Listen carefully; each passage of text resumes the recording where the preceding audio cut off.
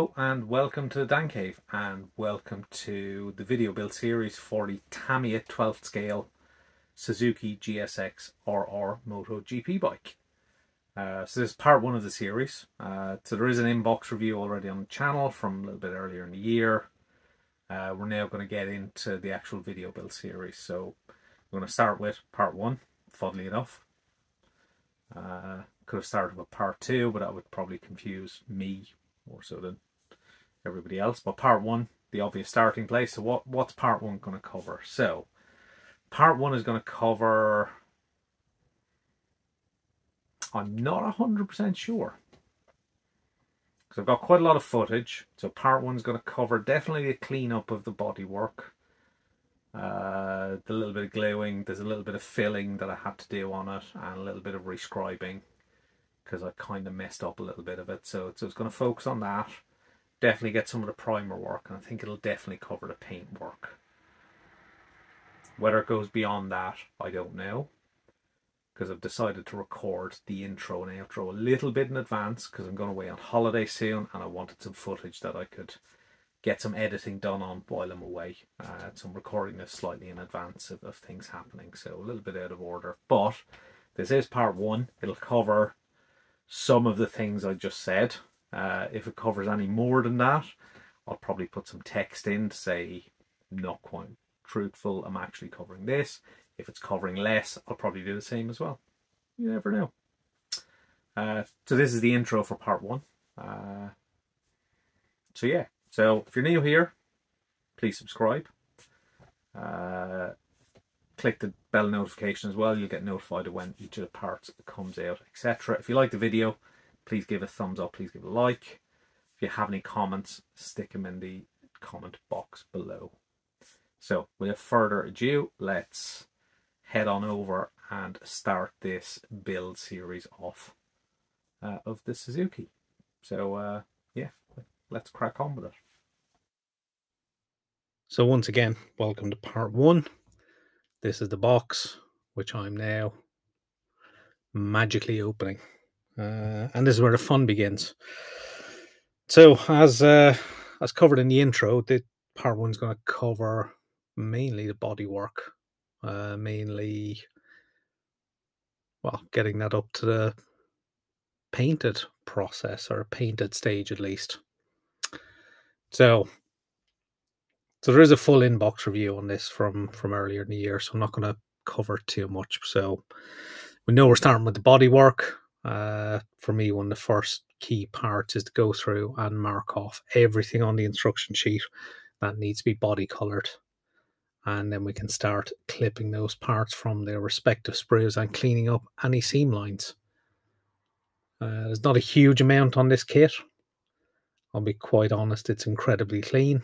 Uh, if you watch the inbox review, I, I kind of sing its praises quite a lot.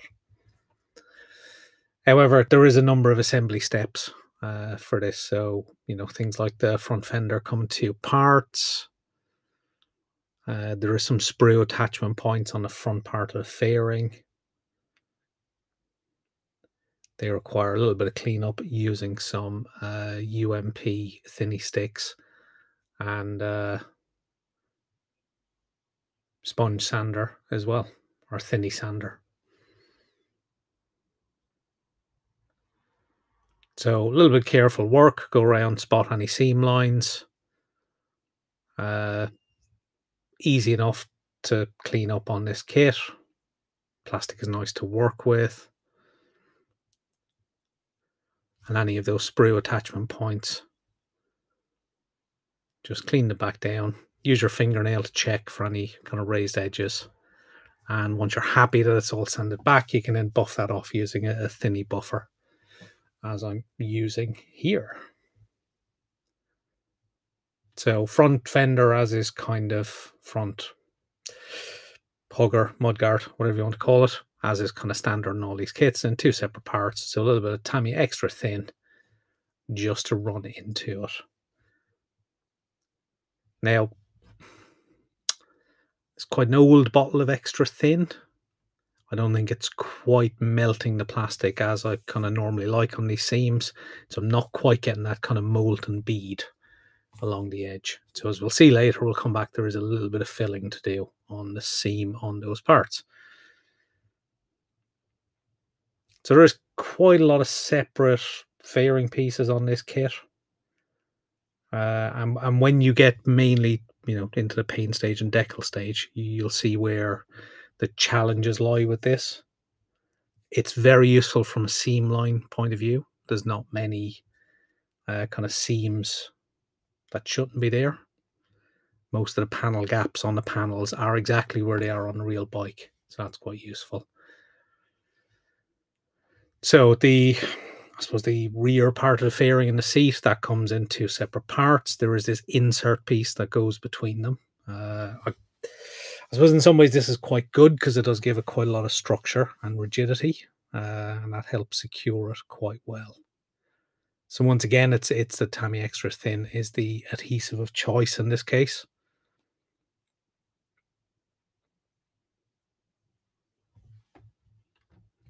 And of course, that will just run into the gaps via capillary action and will perfectly secure it. So once it's in place, a little bit of a squeeze. So at the moment, I've just glued that kind of transverse insert piece. And now just run a little bit of extra thin along the seam line.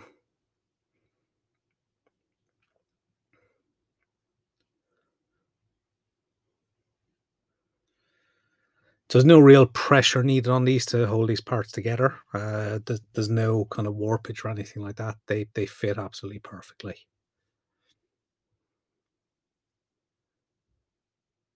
And then there's a couple more pieces which go on, which form that kind of rear uh, rear seat hump.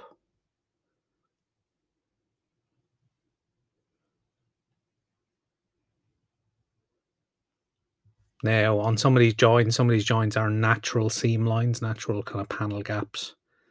Uh, so you do need to be a little bit careful. As it turned out on that piece of just glued, I wasn't. Uh, and I will need to go back and do some work on that a little bit later. Uh, so bottom fairing, that comes in two parts, quite similar to a lot of the bikes from Tamiya. And once again, a little bit of extra thin.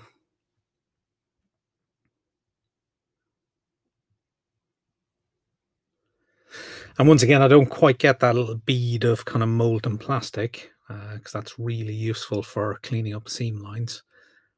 Uh, so this part will need a little bit of remedial work just to eliminate any kind of seam gap.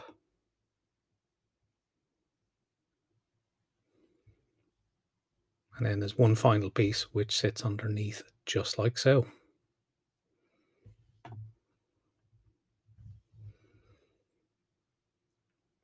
Once again, a little bit of extra thin that just runs into the, into the gaps.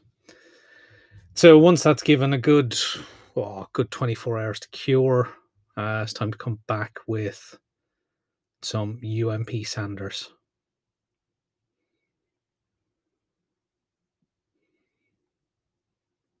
So I kind of already know at this stage that there is a little bit of filling work needed, but it's always worth doing a little bit of sanding just to sand it back, just to see the extent uh, in this case I've kind of sanded it back now and buffing it off and you can and I can see exactly where there's a little bit of a seam line that needs some attention.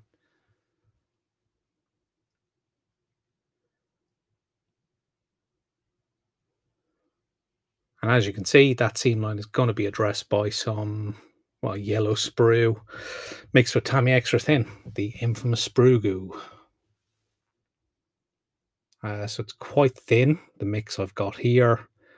Uh, I'm using yellow because yellow is quite an obvious, easy to see color. Everything's going to be prime black anyway, so it's not it's not an issue. It's not like it's going to be painted white and the yellow will show through. Uh, in this case, going to be primed in black anyway for the metallic. Uh, so the front hugger that's got similar attention required.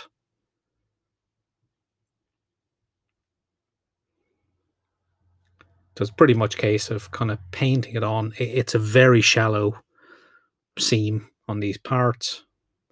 There's not a huge amount of remedial work needed, but it's just a tiny little bit of uh, material that's needed to fill that gap. As you can see, I'm also using a cocktail stick for where there's a slightly bigger gap, just to deposit a little bit more material than I was getting with the brush.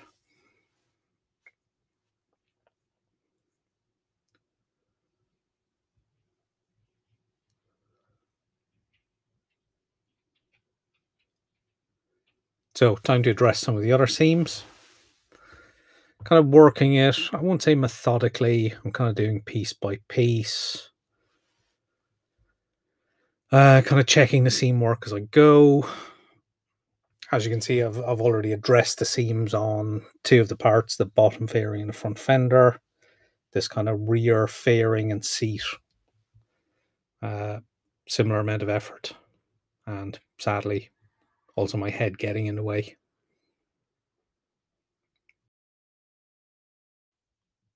So, so this was either a, a lucky break uh, for me or an opportunity miss. So, so, this is where I did make a mistake. Uh, I did kind of ruin what was a natural panel gap. So I've had to refill that with sprue goo, which has been done. It's been allowed to set for a number of days, and now I'm just sanding that back flush. So once I get that back to a flush line, uh, I'm going to have to rescribe that seam line. Had I glued a little bit more carefully, that would have been easy. There would have been no work required. However, I didn't. So I need to use some of this uh, scribing guide tape uh, from HiQ. Just kind of laying it down over where the panel line should be. Just carefully working it into place, making sure it follows exactly where I need it to follow.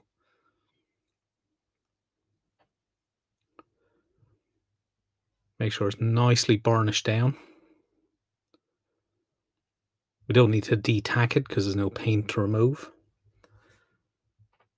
And once I'm kind of happy with where that is, uh, I'm using one of the Tamiya scribing tools. Uh, I think it's the point two, three millimeter one, I believe. But just using that to follow along that scribing guide tape, and that produces an acceptable panel line. Uh, I think the original one looked better if it was done properly. Sadly, that wasn't the case, so I kind of screwed it up, so I had to go back and fix it. So once that line has been scribed, just using a sander, just just to make sure that there's no kind of sharp edges on it, and then buff it back. So with that fixed, we can go back to some of the earlier sprue goo we did on the bottom fairing, uh, and just get out the sanders again and sand that back. Uh, of course, you know, sprue goo once it's completely dried, it's got the same consistency as the plastic anyway, so it's easy enough to work with. Just trying to make sure it's nicely blended in. Uh, obviously, on something like the front hugger, you want to make sure you don't square off uh, the profile of that. So you're trying to keep as much of a curve on that as you possibly can. This is where the softer sponge sanders and sponge thinny sticks come in because they will help conform to that curve. And once I'm happy with what's been taken off, I can go back in with the uh, with the buffer to sort that out. So, so now that all that body work is sorted, it's over to spray booth. UMP black, that's the primer of choice. Uh, using UMP Apex at about 30 psi. And we can start priming some parts. Uh, so this under seat fairing, uh, this is black on the scheme I'm doing, so that gets painted along with everything else at this stage. Body panels themselves, they are all going to be primed in black. Uh, starting off with a fairly light dust coat.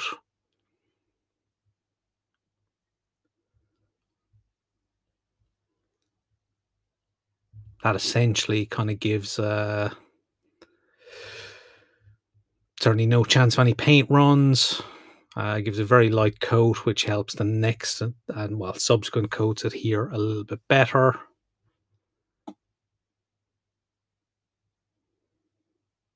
Do the same on basically all the parts on the bottom fairing part. making sure I get all the angles as well, get in around all the edges. Uh, in the case of front fairing, trying to get as much of the inside as, as, as I can as well.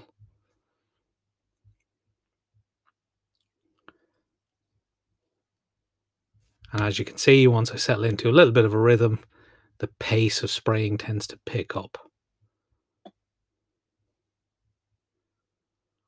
And then before we know it, we are quickly on to coat number two. So that's where you can go a little bit heavier. UMP Black is very, very forgiving.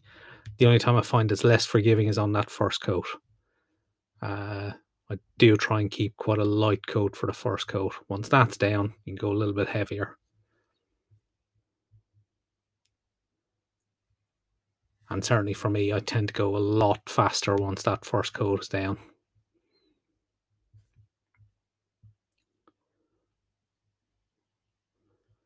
As you can see, just working around all the angles, all the interior, and then we can start doing the main outside. I'm going to speed it all up at this stage because, well, it's just priming.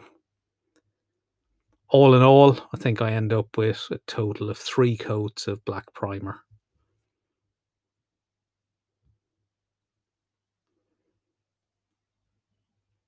Although I get faster, I don't get this fast. This is at eight times speed. And this is on, yeah, this is on the third and final coat.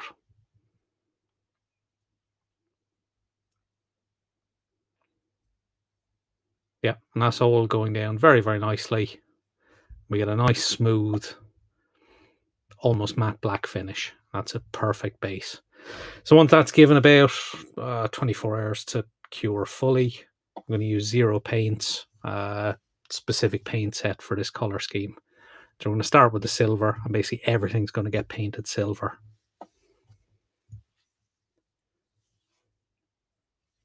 So zero paints are a lacquer paint. They are renowned for being hot. So the best approach with these is very thin, very light coats. Uh, I think all in all, I'm going to cover possibly about six coats. So once again, it's just me doing six very, very light coats, but I'm going to show as much as I can. However, you don't want to listen to me talking about it, so I'm going to stick on some background music, and I think I speed it up as well. So sit back and see six coats of paint go down very, very quickly.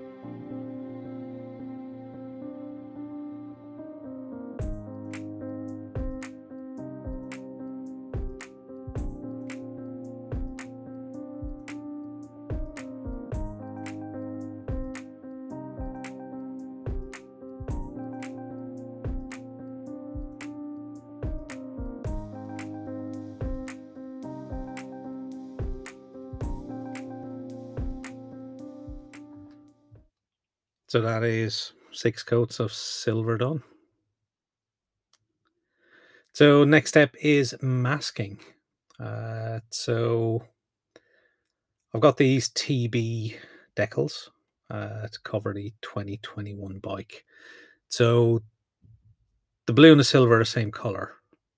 There's a slightly different scheme uh, for this bike. It's ever so slightly different from the previous year's bike. So in in the kit, uh, there was a mask set, so it's not pre-cut. Uh, luckily enough, my uh, very dear friend at Scale Motor, Luke Ward, provided me uh, a set of masks pre-cut. Uh, so the standard masks go on the rear fairing. As you can see, I'm having a look at the differences on the side fairing for the 2021 bike. So as you can see, it is it is similar, but there is a slight different demarcation for the blue, plus that bottom part of the fairing is in black. So for the main front fairing, uh, I'm able to modify some of the the Tamiya supplied masks uh, to cut the straight demarcation that this 2021 bike has. Uh, for side fairings, it's more of a case of, well, just kind of cutting bits of masking tape to to work out the pattern that is on that bike. Uh, so it's easy enough to figure out from the pictures. Uh, the demarcations are different, but you can kind of tell from the pictures where they need to go, and also a little bit of measuring, make sure they're symmetrical on both sides. So once all that masking is done, it's back over to the spray booth, and it's time to start putting down that metallic blue paint over the silver. Uh, so once again, might as well speed all this up and stick a little bit of music on and uh, enjoy the paint process. Before speeding it up and before adding any music, etc., same process as the with the silver. Light coats, zero paints. They are known for being hot, so build up those coats nice and slowly. Uh, I think I do about three or four coats. Uh, coverage is actually pretty good with with this batch of zero paints. But again, they're relatively light coats, so cue the music.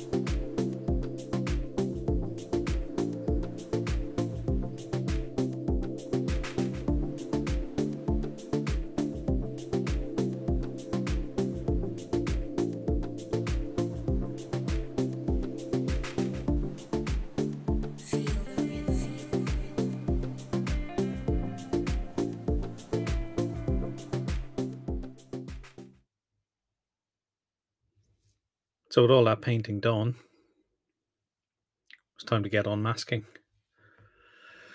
Uh, now I stuck in at the end of the airbrush sequence doing the black on the bottom fairing. You can see it's still blue in this shot, the unmasking. because obviously there's a little bit of masking to go on that to go back in to do black.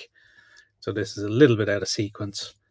Uh, but to finish the video, I thought, you know, a key step to finish it is unmasking the main kind of blue silver demarcation, which is what I'm doing right now uh, with this rear fairing part. So obviously, relatively careful. You don't want to lift any paint, uh, but it should be all good. A little bit of a piece kind of stuck around the edge of that fairing, but uh, yeah, gently lift it off. It was all detacked before it went on anyway, uh, so should be pretty safe and secure. So this, this is getting to the end of this video. Uh, why I'm going to finish at the painted stage. So part one will cover up until basically this point, until I get the last of this unmasking done. Uh, then I'll go back to me for a final summary. Uh, so I think in some ways this video is ending up about 30 odd minutes long. Uh, whereas I think had I covered decals in 2K, I probably would have ed- ended up with a video at about 35 or 40 minutes. So I think this has allowed me to kind of show the paint process a little bit more in depth. Uh, it's kind of showing all the coats go down, albeit speeded up, but you know, it's still all there to show exactly how uh, the paint colors have gone on and gone down. So hopefully, when as this progresses as a build series, uh, we'll kind of keep that level of kind of detail in there. So maybe slightly different from previous builds I've done. Uh, this will be a little bit more in depth, possibly. Probably similar to what I did with the, the other Suzuki Moto GP bike I did last year, uh, the 500 uh, RGV Gamma, which was a little bit more in depth in some ways.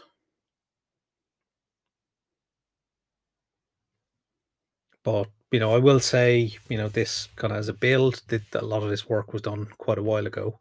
The build itself has stalled a little bit because I wanted to get the videos done before I progressed onto uh, the rest of the video parts. So now that part one is out there, uh, part two will get into editing pretty much straight away. Uh, so part two will come out fairly, fairly quickly. Uh, and that will free me up to actually start working on the next part, to be part three, which is probably going to start work on the engine, I would imagine. So I'm going to try and step through it a little bit more methodically, maybe even more so than what I did with the uh, with the Suzuki, which I think went to five parts in the end. So this may end up with a few more, but who knows how things progress. But as you can see, uh, all that masking tape has come off. It Seems to have no real issues. Uh, no massive amounts of bleed through, nice clean demarcations. Uh, and that'll be left to cure for probably at least 24 hours before I start the decals from recollection.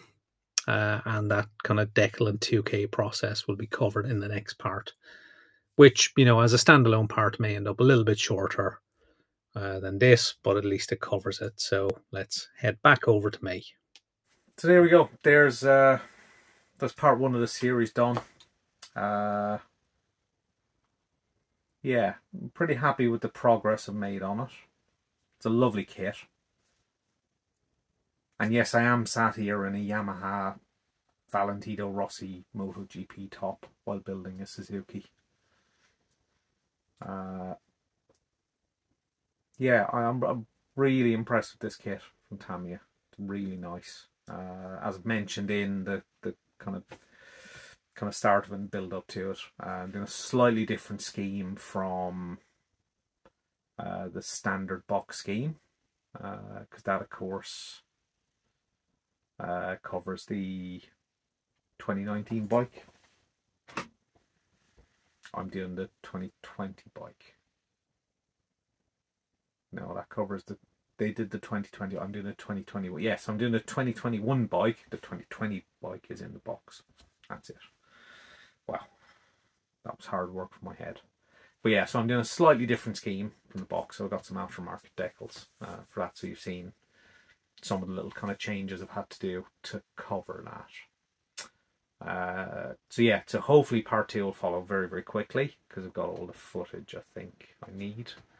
Uh, just need to kind of edit it and such. So this is the first part that I've managed to edit.